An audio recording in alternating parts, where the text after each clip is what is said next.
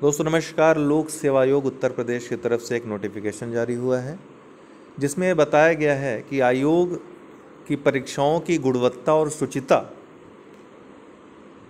इसको सुनिश्चित करने के लिए 80 विषय विशेषज्ञों को पैनल से, आयोग के पैनल से हटाया जा रहा है। तो एक बड़ी खबर है और अच्छी खबर इसलिए है, उसका मैं कारण आप लोगों को बताना चाहता हूँ। बहुत लंबे समय से आयोग की दो आधारों पर सबसे ज़्यादा आलोचना होती आ रही है। हाँ आलोचना के बहुत सारे बिंदु हैं, लेकिन दो आधार ये हमेशा अनवरत कायम रहे हैं, लगातार रहे हैं। पैटर्न चाहे जो रहा हो। पहला, प्रीलिम्स में गलत प्रश्नों की संख्या। गलत प्रश्न बनाना, जबकि एक भी प्रश्न गलत नहीं होना चाहिए, इतनी बड़ी परीक्षा है। और आंसर की गलत देना। इसके बाद रिवाइज आंसर की बनाना। देखिए, पैनलों, पैनल के जो लोग हैं, उनका कहाँ कहाँ रहता है, मैं ये आपको बताना चाहता हूँ। इन्वॉल्वेशन फिर उसके बाद विषय विशेषज्ञ कॉपी चेक करते हैं आपकी। मेंस की मेंस का जो आपका पेपर बनाते हैं सेलेक्ट करते हैं। मेंस की कॉपी चेक करते हैं। मेंस की कॉपी में बहुत सारी अनियमितताएँ देखी जाती हैं। जो लोग अपनी कॉपी देखने जाते हैं, किस तरह से जांची गई, किस तरह से नंबर दिए गए हैं, उनके दिल से पूछिए कि जब अपनी कॉपी देख कर आए तो क्या बीती उन पर। बहुत ही इलॉजिकल तरीके से कॉपी चेक होती है। आँख मूद कर ऐसा लगता है चेक की गई है। तो ये शिकायतें हमेशा से रही हैं। एक जुआ हो गया था मुख्य परीक्षा कि आप कुछ भी लिख कर आइए, अच्छे से अच्छा लिखिए, अब आपको नंबर नहीं दिए जा रहे हैं और कोई कुछ भी लिख कर आ जा रहा है, वो फाइनली सेलेक्ट हो जा रहा है। ये भी अंतर देखा जा रहा था किसी विषय में बहुत अच्छे मार्क्स मिल रहे हैं किसी विषय में एकदम 200 के नीचे दे रहा है अकारण ही। किसी विषय में इस बार अच्छे मार्क्स दिए उसी एग्जामिनर ने अगली बार मार्क्स गिरा दिए एकदम से। मूड के ऊपर हो गया था उसके।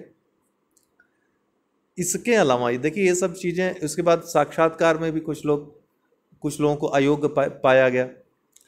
कि वो साक्षात्कार लेने लायक ही नहीं है। मॉडरेशन में जो पैनल के लोग जो मॉडरेट करते थे, वो भी गलत तरीके से करते थे। उसमें भी अनियमितताएँ पाई जाती थी, इनकी शिकायत बहुत पहले से हुई थी, सीबीआई जाँच हो रही थी, लेकिन हटाए नहीं गए थे। अब जाकर कार्रवाई हुई है। ठीक है तो स्केलिंग मॉडरेशन वाले जो थे वो पैनल के लोग उनको उन पर भी कार्रवाई हुई उनको हटाया गया है। तो कई मायनों में इसका विश्लेषण करने की आवश्यकता है। पहली बात तो सिर्फ़ ये तो ऊपरी बातें हैं। कुछ अंदरूनी बातें भी हैं।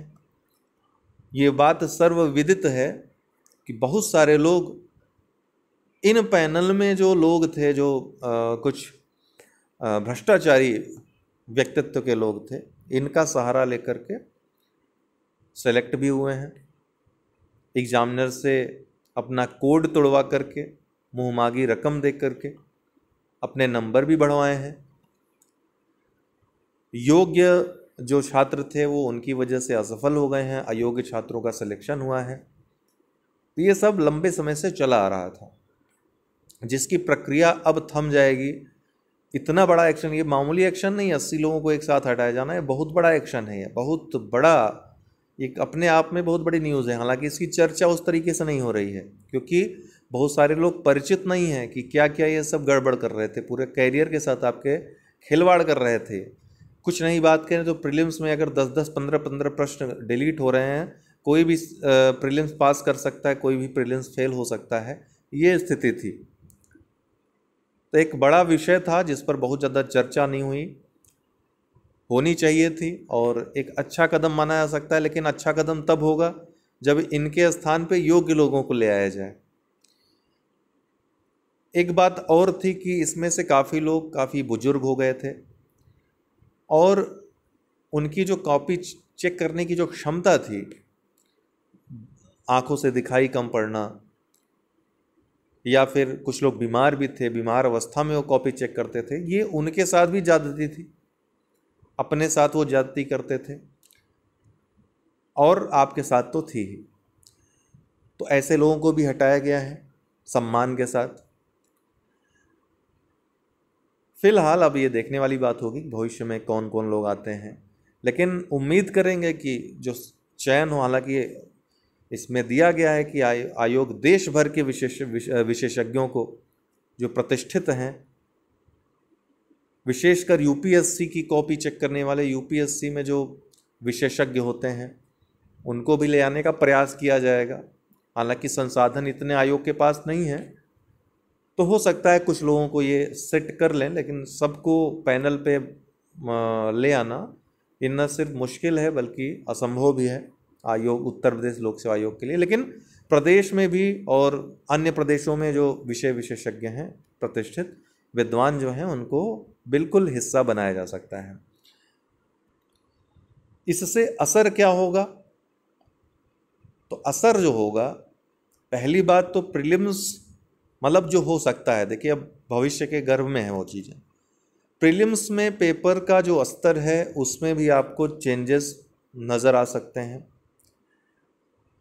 पेपर पैटर्न में चेंज आ सकता है। मुख्य परीक्षा के पेपर पैटर्न में उसके स्तर में चेंज आ सकता है। कॉपियों की जो चेकिंग होती थी, अब ऐसा सुनने में आ रहा है कि अब बकायदा बताया जाएगा, उनको मॉडल आंसर दिए जाएँगे।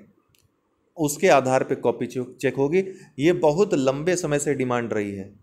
कि मॉडल आंसर दिए जाएँ हर क्वेश्चन के, उसको देख करके कॉपी चेक करें, उसके आधार पे कॉपी चेक करें। एक मानक आंसर होना चाहिए।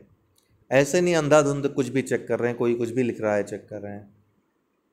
तो ये होना चाहिए और इसकी परिपूर्ति अगर हो रही है, जैसा कि कहा गया है तो एक अच्छा एक मुँह होगा आयोग की तरफ़ से, एक अच्छा निर्णय है। तो हो सकता है भविष्य में कि आपको जो कॉपी चेकिंग में जितनी अनियमितताएँ होती थी, वो दूर होती दिखें। उम्मीद यह है कि पार्शियलिटी ना हो। माध्यमों के बीच, विषयों के बीच। और विषय विशेषज्ञ जो प्रोफेसर कॉपी चेक करते हैं एग्जामिनर जो होते हैं, उनको लेकर कई बार शिकायतें की गई हैं। मौखिक, और इस बार तो लिखित शिकायत भी किसी ने की थी। फेसबुक पे किसी ने पोस्ट भी किया था, उसका भी ये असर हो सकता है। बहुत सारी चीज़ें हैं इसके पीछे। एक लंबा चौड़ा इतिहास है इसका, कम से कम बीस वर्षों का।